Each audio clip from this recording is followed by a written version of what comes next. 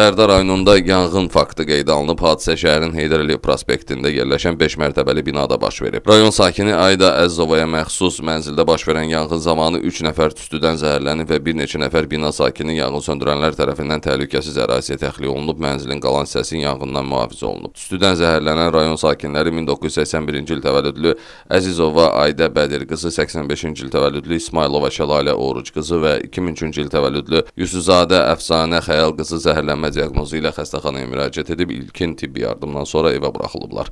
Alov yanğından mühafizə bölmələri tərəfindən söndürülüb.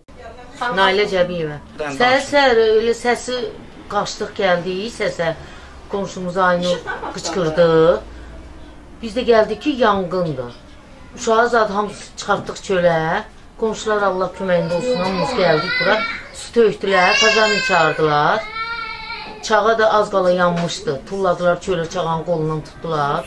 Üç nəfər xəsarət alıb. Skoyro gəldi, apardı Balinsiya.